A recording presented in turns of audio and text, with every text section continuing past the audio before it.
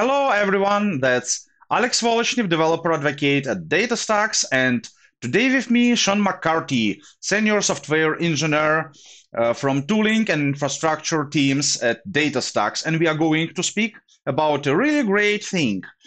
Recently, DataStax open sourced a testing system called Fallout, and Sean was one of the guys working on this tool, so we are going to ask him, hey, Sean, What's the Fallout and why should we care?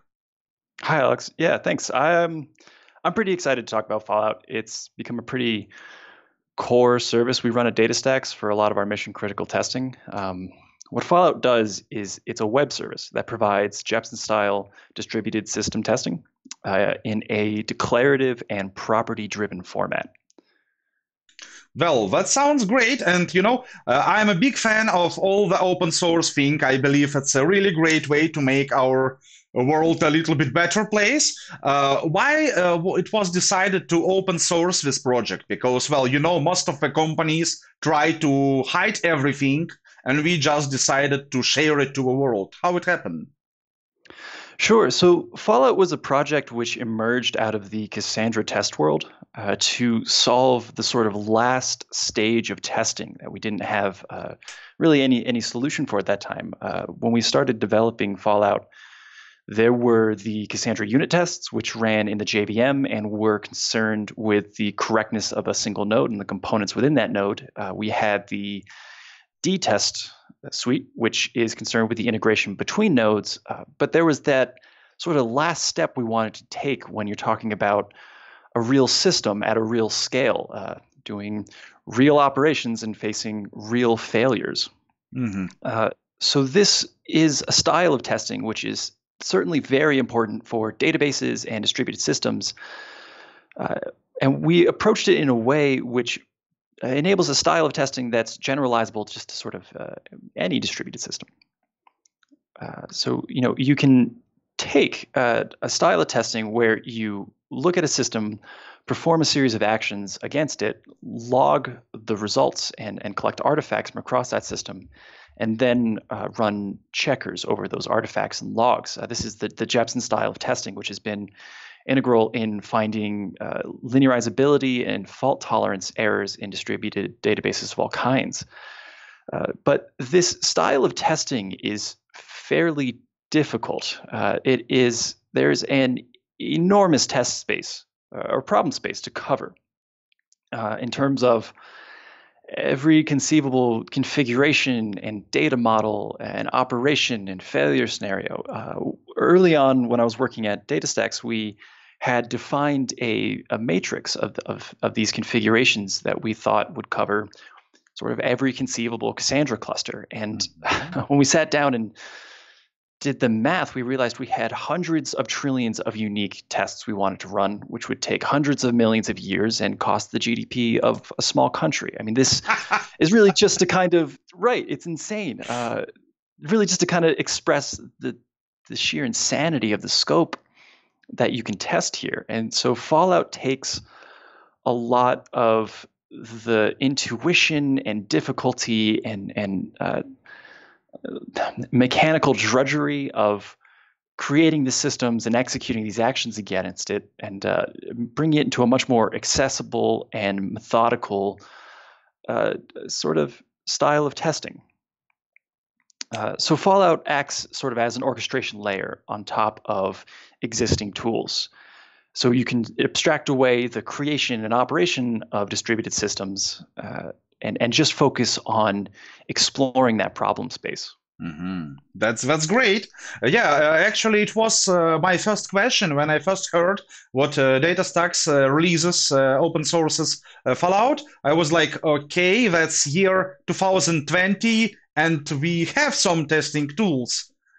why do we need one more, and what makes it special to the um, in comparison with others? Yeah, it's it's exactly this thing. It's it's mm-hmm. a level of convenience and enabling automation around uh, uh, exploring this space. Because uh, again, Fallout doesn't quite aim to replace uh, any specific tool. We we found over the years that Fallout's really at its best when it's making use of existing tooling. Uh, so we, we've taken this Jepsen model of act, log, and check mm-hmm. and generalized it just enough that uh, whatever artifact uh, a tool or software is creating, whether it's it's system logs or just uh, some, you know, the output of of disk free, something like that, uh, whatever it is, you know, Fallout can capture it and and run analysis uh, mm-hmm. against it. Great. and what kind of tools we can use under the hood? I mean, if Fallout is the um, like orchestration system for testing, like what the uh, tools it can use to orchestrate. Right. So we really haven't come up against a limitation, uh, or we've never found a tool that we can't uh, hook into. Uh, mm-hmm. Fallout is comprised of a couple of core uh, APIs, and and the one of the, the three big ones is a lifecycle API. Mm-hmm. So it offers uh, some stages where we expect uh, to hook into any sort of particular tool when that's uh, if that's uh, provisioning, installing software, operating the software. Um, you know, we have a very thin API layer which provides information and access to the underlying system, so uh, you can run that tool in sort of whatever way it needs to be. And this lets Fallout again abstract out to just an orchestration layer, so you can do things in a uh, you know declarative property-driven manner, bringing sort of all of the the different operations uh, that you'd want to execute against the system, uh, any sort of performance, you know, benchmarking, stressing that you'd want to execute against the system, and then chaos, just uh, great chaos testing. Yeah. Yeah, it's great. It's it's it's a really really great uh, thing and great topic. But well, okay. Uh, my next question would be not really a question, like uh, talk is cheap. Show me the code, or in this case, uh, can you show me a little bit of how it works? Sure. Uh, so I've got here a an instance of Fallout running uh, in our in our data center. This is this is actually the Fallout instance I've been using to uh, test the open source fork we released earlier this month. Um, so you can see it's it's a normal website. Yep. Uh, you can do there's a user management, which is sort of lonely since it's just me. Uh, you know, users have uh, a profile so that you can add uh, credentials to, to specific services. Mm-hmm. Uh, you know, the Fallout we open sourced is uh, the the components we released were really focused around Kubernetes. So here you can add you know Google Cloud Service accounts to gain access to GKE and G Cloud and that sort of things you know, you have test management. You can see I've been running a couple of things. Uh, so it's really simple, right? I've defined this test, which does a, a uh, simple performance benchmark mm. against GKE, and uh, I'll show you uh, the definition in a second, right? But it, it really just comes down to a button. Great, that, that's it. This test will run. Uh, we can go into this test and sort of watch the output as it's being executed. Uh, it did sort of jump ahead to the boring part where it's just waiting there you go. It's streaming live. Very exciting stuff. Um, and so this is just a YAML format. You can define the different uh, node groups you want, uh, provisioning on GKE with the different properties, install uh, all kinds of services and configure them in Kubernetes. Uh, here we are creating a, uh, a, a deployment of NoSQL Bench, which is another open source, another tool we've recently open sourced uh, for performance benchmarking and stressing. Uh, here we are hooking into the new DataStax Cassandra operator. Uh, and then we've defined what's just a very simple test uh, where you initialize the Cassandra schema, do a little JVM warm up, and then run an actual benchmark. Mm-hmm. Great. And how, how long does it take to run the test like this one? Well, this one's fairly quick. We're only running uh, a million queries only a million queries, right? Uh, it takes about 25 minutes to create the system, run the benchmark, and tear everything down, having collected the artifacts. So I, at the end of it, sorry, go ahead. Yeah, I wanted to ask you to run this test uh, to show to us how it works, but uh, we can't wait for 25 uh, minutes uh, for it to finish. right. So maybe you can run it, but show us the results of another test. Right. I mean, so like this, previous run, previous build. Yeah, exactly. This is one of the great things about Fallout is uh, it's it's a reliable and repeatable uh, uh, machine. It's it's doing the same steps in the same order, uh, you know, given the same definition, right? So while I start kicked off a run just a minute and a half ago, we can go look at this this previous run and get a sense of the same output. So one of the the core features of Fallout is collecting artifacts from across the system. Um, interesting artifacts in this case are HDR files, which characterize mm-hmm. performance and are an output of NoSQL Bench. Uh, we also have uh, Cassandra system logs from the Cassandra pods. Yikes, that formatting is a little bit terrifying and not very interesting. Um, but you know, so you get the point. Artifacts are collected from around the system, uh, and they can be processed and validated. So one of the most common uh, checks we do uh, is performance checks. So this is a, a sort of simple uh, performance chart, just to get a quick sense of the characterization uh, the, you know, the performance characteristics of this test. So here you can see the operations per second, the throughput, and we can switch this to a latency chart. We can switch this to, uh, you know, different latency charts. Uh, just to get a sort of quick check uh, from a holistic, holistic perspective, uh, you know, that means including all of the clients. Great. I mean, like, that's really great. And of course, uh, it works not only with Cassandra or DataStax Enterprise, but basically you can configure it to work with any distributed system. Absolutely, right. Uh, yeah, again, course. you know, Fallout's very unopinionated about uh, hooking into a system. It's, uh, it's a very thin, very generalizable uh, mm-hmm. API to hook into different tools and software. I can say it looks really great. And well, uh, at some point of my uh, software de- of my career in software development, I started to work mostly with distributed systems, and it was pretty rough transition because after the monolithic systems, it was well, well. Of course, there are a lot of great things, you know, and a lot of very positive changes, I would say, in comparison with monoliths. But uh, when you start to try to test it, when you have multiple actors over the world, it gets really, really, really hard. So yeah. I see. That's great. Uh, actually, how long it took to develop DataStax Fallout? How long is it in the development? So we uh, development was started, I, I, think, in late 2015, uh, and it was it was seeking to serve a fairly narrow purpose of uh, correctness testing, and, and particularly mm-hmm. automating correctness testing, uh, uh, very much in the style of Jepsen and and over time, uh, the scope of Fallout has sort of increased more and more into uh, you know fault tolerance, performance uh, characteristics, um, debugging, streaming, and compaction. Um, you know, uh, mimicking the clusters and environments of our customers.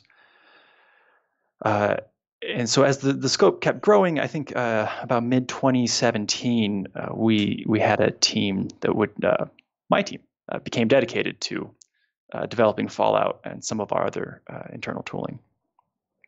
I see. So it took a while, but yeah, it looks great. Uh, my next question is like, uh, what's the uh, tools behind that? I mean, which language, uh, which I don't know, libraries? What's what stand what stands behind the DataStax Fallout? Sure. so Fallout is written in Java. Um, it but has, you know, yeah, not very surprising, right? Uh, which makes it very accessible to to I think a, a broad audience. Um, yep. Jepsen is written in Clojure, so it's running in the JVM. Uh, we mm-hmm. have a wrapper around Jepsen, uh, so that we can hook into all of the other stuff uh, written in Java. Uh, the web service is built on Dropwizard. I think we use Nginx for uh, most of the the, the you know, serving artifacts and web pages. Um,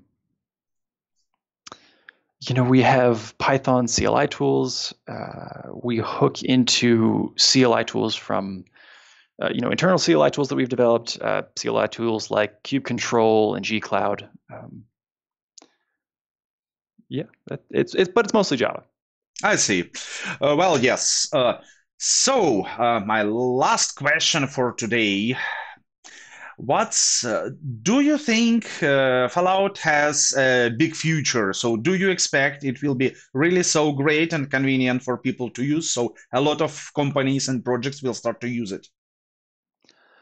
Well, I mean, I hope so. Uh, it, it's certainly been very useful to us here at DataStax. Like I, I think I said earlier, you know, it powers a lot of our mission critical testing, uh, whether that's uh, performance regression pipelines, uh, mimicking customer environments to uh, uh, validate their workloads and, and their systems. Um, and Fallout itself is generalizable to distributed systems. Uh, as a whole, abstractly. And this kind of testing is something that really anybody running a distributed system, I think, wants to achieve. You can understand the stability of your system. You can uh, get uh, a, better uh, you know you can you can have confidence that your your system is going to behave predictably when you go through the normal operations a distributed system is going through and when you're experiencing failures that every distributed system will experience uh, so you can take your distributed system and, and really push it uh, really stress it out really hammer on it and, and cause problems uh, to make sure that you're not going to experience those in production. And you know your engineers aren't going to be getting paged at 11 p.m on a saturday night. Uh, so I, I, think the the utility here uh, is is very general and very um, very much necessary for a lot of people at this time. Yeah definitely. World getting more and more distributed. I mean it world and that's great so now we are having something very special to everyone who watches this video or in general and the people who are interested into the testing of distributed systems. Uh, you know, uh, I work uh, as a developer advocate at developer relations team of DataStax and our job is to upgrade our users and we love this job. So this one we are going to have very soon open, free, completely free um, workshop of what's the Fallout and how to use it with very practical exercise steps so everyone will be able to watch it, attend it, and do the exercise and learn how Fallout works, and that's really great. Uh, Sean, uh, you will lead this workshop, I believe. Yeah, that that sounds right. Um, I guess what what I'm really hoping to to bring to the workshop uh, uh, is an understanding of all the different uh, you know people who interact with Fallout, the the users who are just interacting with the UI, uh, developers who are extending into new systems uh, and new tools, and then uh, the people who will operate Fallout and actually uh, provide it as a service to to to users. Yep. Uh, so I and, think yep. Go going to the workshop, you'll you'll come away with a really holistic perspective on how to use Fallout and how to how to really integrate it into your systems. Great. And I will be your assistant on it to help uh, to set everything up and make this workshop shine. And Thank it's you. going to happen. What was the date? I think we're thinking uh, May 13th. Uh, May 30th, uh, yeah, sounds uh, about correct. But in general, subscribe to our channel and get all the notifications of the upcoming streams. That really makes you better, stronger. Thank you, Sean. It was very interesting. Yeah, thanks for having me, Aleks. It was, uh, it was a lot of fun. And see you at the workshop. Looking forward to it.